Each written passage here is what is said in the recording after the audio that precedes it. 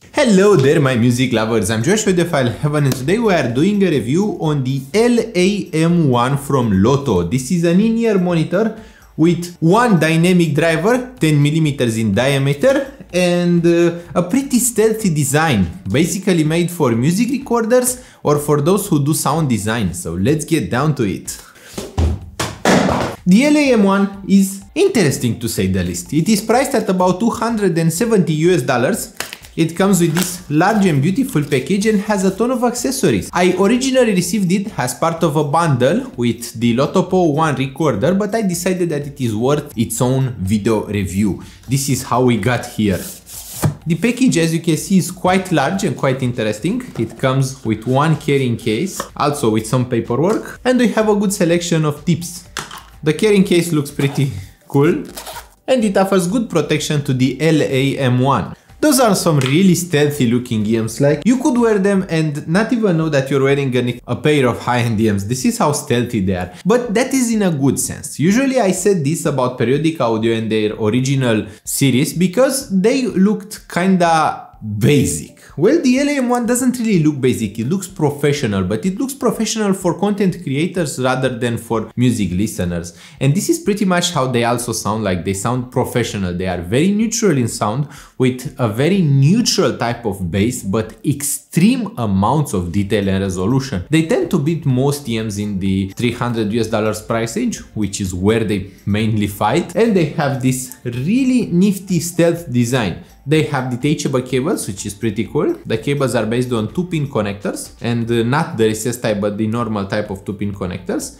They have ventilation so that you have no driver flex with the LE-M1 and they offer you between 20 and 25 decibels of passive noise isolation depending on the frequency we're talking about. This is pretty much perfect for a content creator. You can use them to monitor your recorder or you can use them to listen to music. They come with a 3.5mm single-ended jack and since they have a detachable cable they will be compatible with most other music sources. Although they do have a detachable cable, the cable and the EMs kinda fit perfectly together. They just just have this cut design where you are best if you use their default cable, but they are compatible with pretty much all of the other aftermarket cables. At 280 US dollars, I was surprised to learn that this is what they cost because I was just writing my review on the Lotopo one and then I remembered, yeah, it came with some EMs and what was the price of those EMs? And I couldn't find that out instantly. So I grabbed them and started listening to them and told to myself, man, those should get their own review. Man, those really sound nice. And uh, I thought to myself, they must be around 300 US dollars. This is what I thought to myself while doing the review on them. And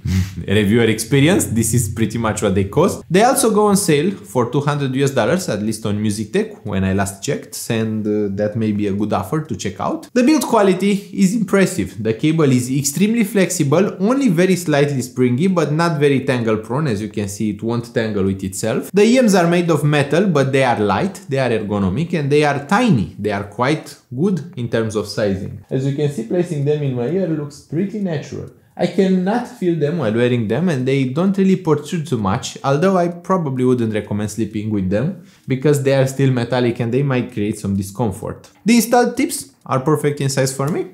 I have no complaints. I am getting excellent overall comfort. I am getting no distractions from music and from sound. They have no microphonic noise on the cable. They are rather easy to drive. You won't need to break the bank on a source and they are pretty much perfect for their intended purpose. Those are monitoring EMs, which means that they are made to be neutral, extremely revealing, and detailed. As far as the sources for driving the LE-M1, I have used the Lotoo PAW 6000 and the Astell&Kern SA180, both of which did a great job. But the Lotoo PAW 6000 has a really easy to use equalizer, which means that you could just grab it, engage the equalizer, and enjoy a fuller, lower sound with more bass, which is pretty much what they require. This is the only thing I would really change to the Lotoo LE-M1.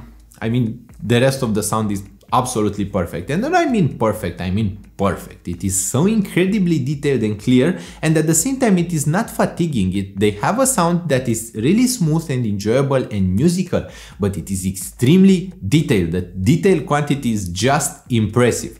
They don't have the largest of sound stages, which is good because they have a natural soundstage and a very good instrument separation. This means that when recording you will know whether the sound is too wide or it is perfect in width and in depth. This is absolutely ideal in my book because you don't want to purchase an EM and then discover that they are changing the sound compared to what you expect to get. They have that very neutral bass which is enjoyable with some music, for example with rock and metal because they have a really really quick bass and really detailed bass but at the same time for electronic music or for jazz or for music where you want a bit more of that low impact they tend to be a bit too neutral and that neutrality will be a dominant factor for the Lotoo LEM1 because when listening to music you are usually used to hearing a tone of impact and a tone of bass and they do have a tone of impact but they do not have a lot of bass they have a very neutral sound it is pretty much perfectly neutral and that is something to take into account when ordering them. I think that listening to music is an excellent experience even if you use the Lotopo 1 music player or recorder. That one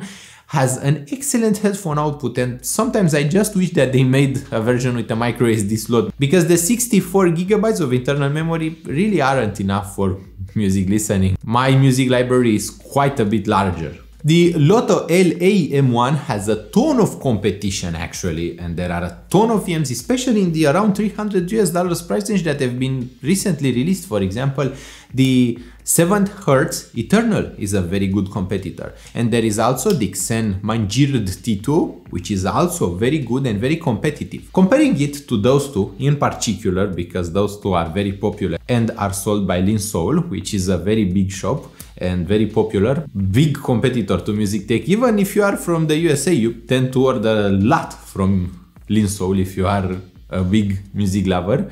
But the 7 Hz Eternal has a very V-shaped sound compared to the Lotoo LEM1. The Lotoo LEM1 has a more neutral bass, which means less bass quantity, but they have better overall resolution and better overall detail. The detail and clarity of music is just a bit better on the Lotoo LEM1. The Lotoo LEM1 also has better overall extension in the treble, where uh, you can hear some treble roll-off, although it is not very noticeable on the 7 Hz Eternal. On the Lotoo LEM1, you just get the full width of the treble. You just hear every single bit of air that there is to hear in music. And that is good because when something starts to become a bit harsh or a bit aggressive, the Lotoo LM1 will reveal that, even though they aren't very harsh by nature. Compared to them, the 7 Hz Eternal doesn't really sound so natural in the mid-range and it doesn't really capture that natural tonality. The 7 Hz Eternal is a bit more enjoyable with music, especially if you are listening to a ton of music that is bass driven, for example EDM, electronic, dubstep. So the Lotoo LEM1 will lose a bit in those aspects. On the other hand, comparing it to the Xenns Mangird T2, the Xenns Mangird T2 is very different. The Xenns Mangird T2 doesn't really have a lot of bass either, but it has a more forward mid-range that doesn't sound quite as cold. The Xenns Mangird T2 is more warm, it is more musical and it is more fluid. Compared to it, the Lotoo LEM1 sounds more detailed, considerably more clean and clear, but also brighter and just a bit colder in general. The sound of the Lotoo LEM1 isn't the warmest out there and they are perfect for monitoring. I would insist on this. If you are looking for an EM that is absolutely honest with what you're recording, the Lotoo LEM1 is perfect. On the other hand, if you are looking for something to enjoy voices, the Xenns Mangird T2 is easier to recommend at this point. Also, if you are looking for an EM for dubstep or electronic music, or if you just generally enjoy a ton of bass, the 7Hz Eternal is also easier to recommend in the Lotoo LEM1. Each one of those is made for a different usage scenario. Each one of them plays music differently and is perfect for a different type of music. I would consider that the Lotoo LEM1 is perfect if you want to hear that studio setting, if you want to hear exactly how the recording was intended to go. And usually you don't want to hear just that, usually you just want to have some fun. Concerts aren't about sounding studio, concerts always sound colored, always have a ton of bass. The bass is bloated in most concerts, the bass is overwhelming in most concerts, the volume level is overwhelming in most concerts. And that is something that the Lotoo LEM1 will show if you listen to a live concert, which is Very interesting to hear.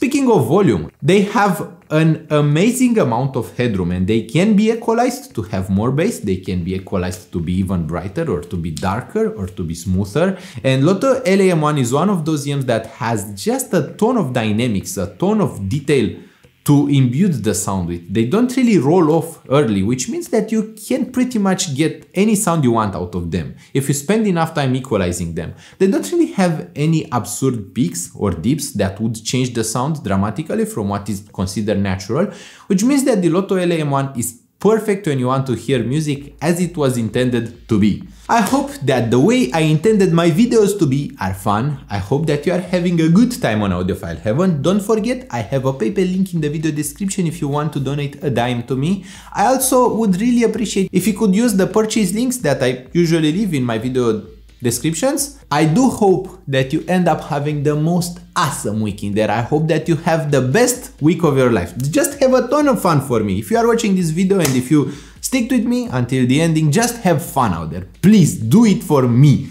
Also, I hope you will leave a like on this video and subscribe to Audiophile Heaven. It really helps me out. And don't forget to see each other really, really soon. Bye bye.